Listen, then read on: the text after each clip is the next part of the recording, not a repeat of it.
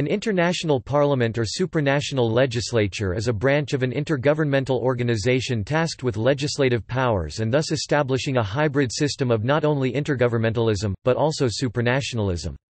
It could be based on a predecessor interparliamentary institution or a newly established organization-level legislature.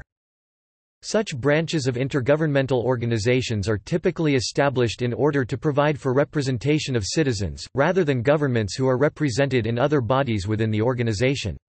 The assembly can be composed of members of the national legislatures whose members are directly elected in most cases or of its own directly elected members, further strengthening the supranationalism of the organization.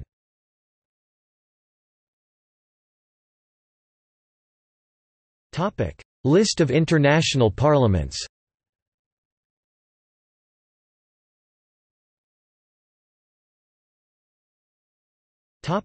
See also.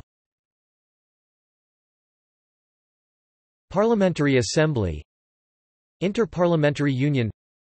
International Parliament for Safety and Peace.